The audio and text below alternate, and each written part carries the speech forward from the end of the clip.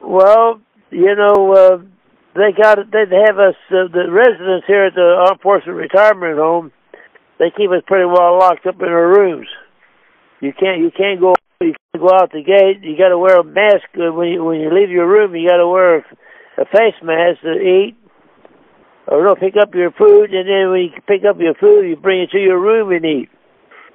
And uh, but uh, let me see, you know, because you know I, I got low vision. I lost some of my eyesight, and my hearing's not the best.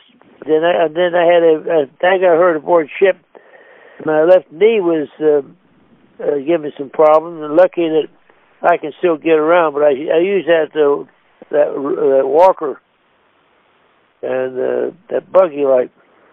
That's and that's how I get around. Because without that, uh, I don't think I could uh, make it on my own. I see. But other than that, well, they have a lot of activities going on here at the at the uh, Armed Forces Retirement Home. They got the bowling alley, and they used to have a golf course here, but then they discontinued the golf course.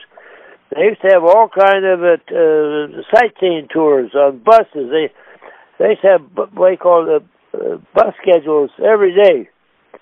And then I used to go to Walter Reed, uh, Walter Reed hospital in Bethesda, that's in Maryland. I used to go there twice a week just to get away from the home here. And uh, but uh, now it's pretty well tight. Now you just gotta kind of keep, you know, close to your room, and that's. Then I have a nurse that they they give me my pills every Monday because I I can't handle ordering the pills. But they got I got I got a pill box there. The, nurses give me the pills there for the whole week, and they check on me every day they they say they, they check to see if if you're okay and you have any problems, you need medicine, or if you need any any kind of uh, if anything goes wrong with you, you don't feel good. But they're well taken care of. Then I go to the VA hospital there in D.C.